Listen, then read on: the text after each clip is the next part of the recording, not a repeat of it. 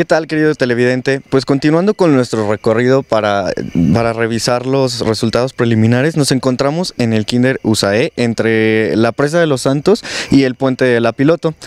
Podemos observar que aquí en realidad este, es bueno, es muy evidente que aquí el pan está por mucho a la cabeza.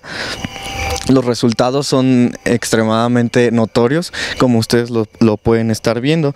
Aquí se han revisado cuatro casillas. Este, y en todas, como pueden observar, los números son demasiado altos en cuanto al, al, al partido del PAN. Por acá hay otra 204 en ayuntamiento. Es, esto, es, esto es una cifra demasiado alta a comparación de otros partidos que únicamente cuentan con tres votos. Entonces, pues evidentemente aquí el, el, el PAN está a la cabeza.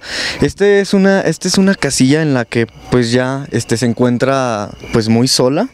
Ya hemos hecho el recorrido también por el Instituto Nacional de Antropología e Historia que se encuentra uh, muy cerca de aquí, pero ahí aún no han puesto todos los resultados y nos comentan que todavía van a, a tardar como una hora o dos en poner los resultados. Les comento que ahora son las 11.20 de la noche, entonces pues sí, todavía estamos a espera de, de bastantes resultados.